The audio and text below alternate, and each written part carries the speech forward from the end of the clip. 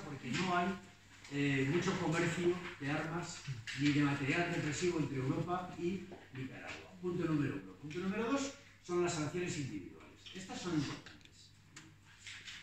Son las sanciones individuales a aquellas personas que estén caracterizadas por haber sido protagonistas del, del quebrantamiento del Estado de Derecho.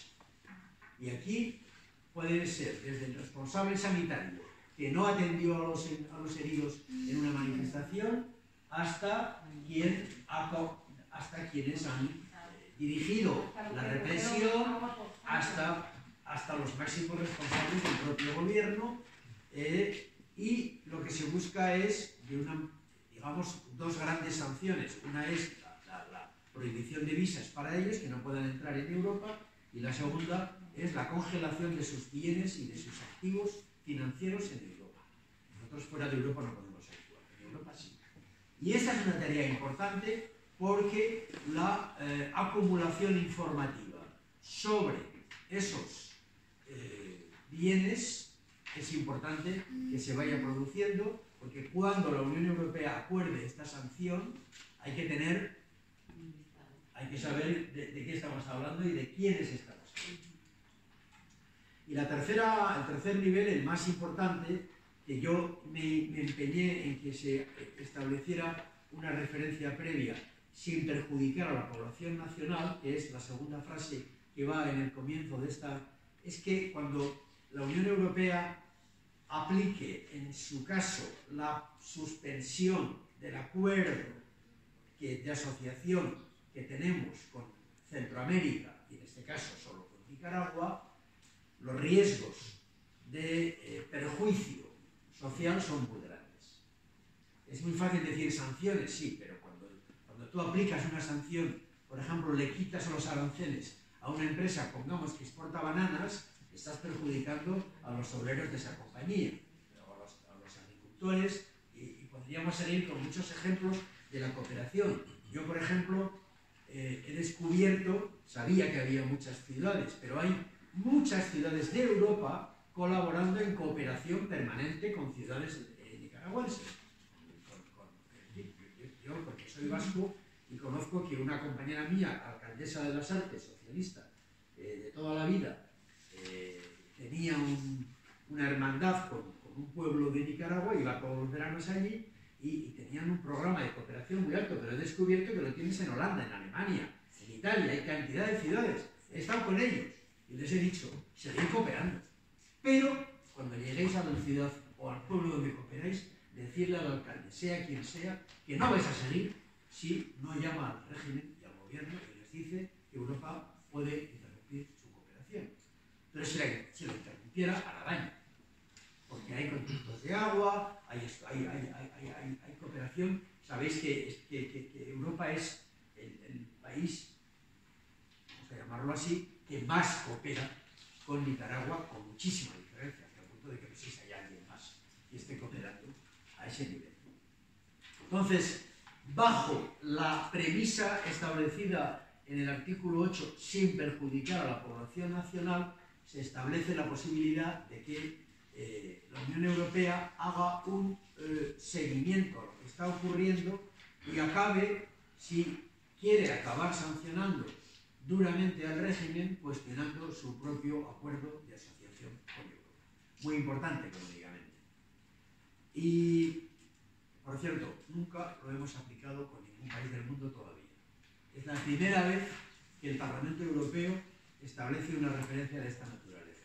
Hoy hemos aprobado otra resolución sobre Guatemala a propósito de la expulsión de la CECIG, sabéis que es el gran organismo de Naciones Unidas que desde hace años trabaja en Guatemala en la persecución de la corrupción, etcétera, etcétera, que ha expulsado el presidente Morales, ha provocado una reacción de la Unión Europea y muy tímidamente hemos dicho en esta resolución que eh, se, podrá estudiar en su caso la posibilidad de que, de que Guatemala pueda estar eh, afectada por la cláusula, pero no como se dice aquí, que se dice directamente que se active la cláusula democrática del acuerdo de asociación entre la Unión Europea y Centroamérica, del que Nicaragua es signataria, suspendiendo la participación de Nicaragua en dicho acuerdo. Termino.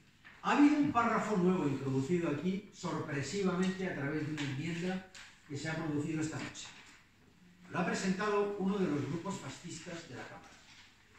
Eh, llamamos fascistas a los grupos de lo que llaman el grupo NF, es eh, Naciones Libres, eh, Nation Freedom.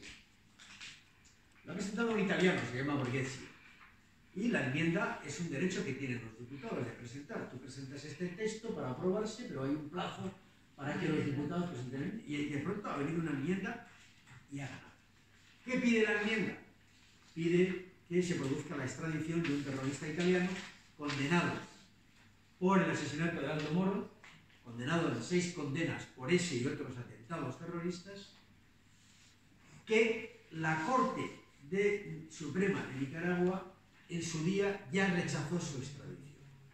Me lo contó ayer quien fue ministro de Exteriores, José Palais, que me contó, yo planteé esa demanda de extradición a la Corte cuando nos lo pidió Italia, hace ya bastantes años, supongo que sería en los años 90 o principios del 2000, y la Corte lo rechazó. Porque este ciudadano está casado con una nicaragüense, tiene dos hijos nicaragüenses, es ciudadano nicaragüense y la Corte no aceptó la extradición. Pero en Italia esto es una bomba. Y la enmienda ha provocado que todos los italianos de todos los grupos políticos en pleno periodo electoral hayan dicho que ellos no pueden votar en contra de que se extradite a un terrorista condenado seis veces por los tribunales italianos. Y han votado a favor y ha, sido, y ha salido. Pega como a un cura dos pistolas, francamente. En esta, en esta resolución no tiene mucho sentido. Es una resolución política que habla de Nicaragua, que habla de lo que estamos hablando aquí. Y de pronto meter un párrafo para que tal, pero el Parlamento es así. No añade nada. No hace ni bien ni hace mal. Lo importante es lo que he contado. Se ha votado por 325 votos a favor, ha habido 25 votos en contra, que yo recuerde, y algo así como 30 abstenciones. Las abstenciones son casi todas de la izquierda, eh, de los que no han querido votarla, pero tampoco se han atrevido a rechazarla. Esto es muy típico en el grupo de la CUBE. No quiero hacer ninguna referencia política a nadie, ¿eh? pero eso es más bien eh, Podemos, etc. La, gente de Izquierda Unida que no, ha querido no ha querido votarla, pero tampoco ha querido negarla.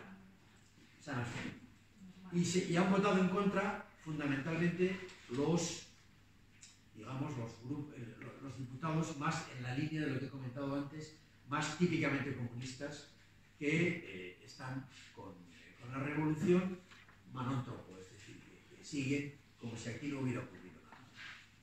Tengo que decir que en la delegación había un diputado griego del grupo Chipras, del grupo Sirisa, Stelios, periodista, que estuvo totalmente de acuerdo con todo lo que hacemos.